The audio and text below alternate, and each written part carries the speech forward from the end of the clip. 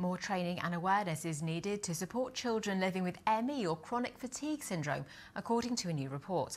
The Oxfordshire ME Group for Action found medical professionals are often poorly trained to recognise the condition and provide appropriate support.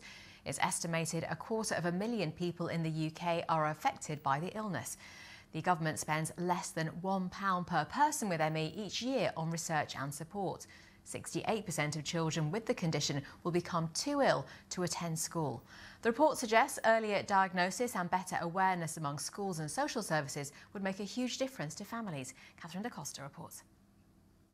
Once an active, outgoing child, 20 year old Zoe Fabian from Witney is now mostly housebound. She suffers constant pain in her joints and struggles with everyday tasks. Her mother says ME has robbed her of a normal life. People think of ME as being tiredness, but it's, it's a very painful condition. So that's definitely the worst thing for her. Pain in her joints, pain in her eyes, pain in her head. And then her cognition um, really sort of, it does fluctuate, but it's, it's pretty bad most of the time. ME is a debilitating illness, often associated with extreme fatigue. Symptoms can vary, but often include chronic pain, disordered sleep, digestive problems, as well as poor memory and concentration. There is no cure, and many with the condition never fully recover.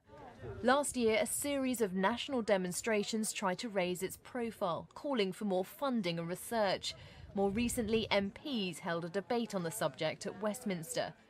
Now, an Oxfordshire campaign group's published a small study into young people's experiences of chronic fatigue syndrome. There's still a real lack of understanding in the medical profession and the education system about ME and uh, uh, there's no, not really any system set up to deal with it um, and people can fall between lots of cracks.